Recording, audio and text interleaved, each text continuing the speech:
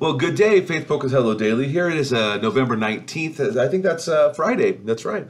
Uh, 2021. Uh, jumping back into God's Word as we look at the month of gratefulness, we're going to see yet again this whole idea of thanking God for others.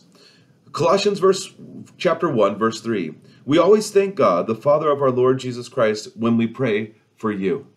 And then Psalm 118 verse 1.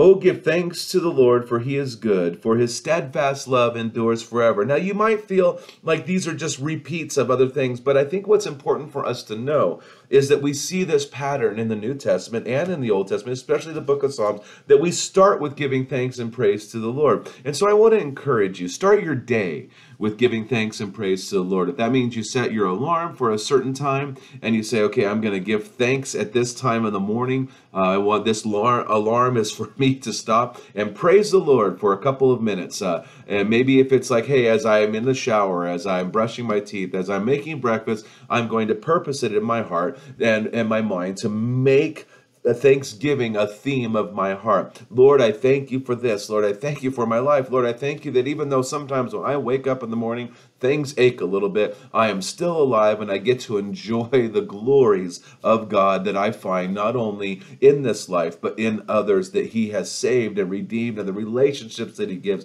and the hope that we have. And so I want to encourage you to do that, to start this, you know, just because we're doing a month of gratitude, I think there's some patterns we can start in our life, some some habits, if you will, of Thanksgiving that would just become the rhythm of our life. So I encourage you to look at what that looks like, how I can be purposeful in thanking God for who He is and what He's done, and who He is to others, and, and the fact that I know others that have received the grace of God. I've received the grace of God, and what a joy it is to be known by a holy God. So may God richly bless your day.